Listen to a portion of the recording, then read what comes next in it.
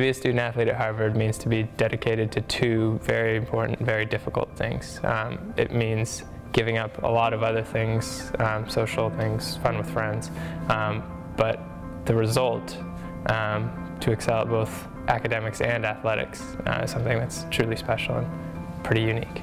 Probably the best thing is the friendships that you make on the team.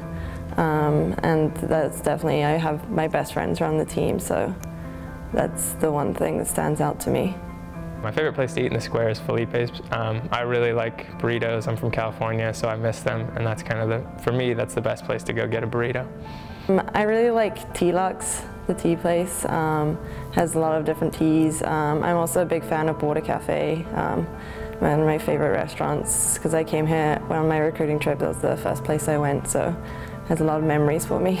Most likely to become president from the cross country team is probably Dan Malekman. He's headed to law school. He's kind of on that route. Uh, most likely to join the circus, I'd say, are probably the uh, Ward twins, Fred and Carl. Um, yeah, they're a pretty ridiculous duo. We have funny, we have spirit animals on the team. Um, one girl on our team is known as the hedgehog because she brings out her spikes from time to time. Another girl's like a chocolate Labrador. We uh, all get given these funny spirit animals by a coach, which is great.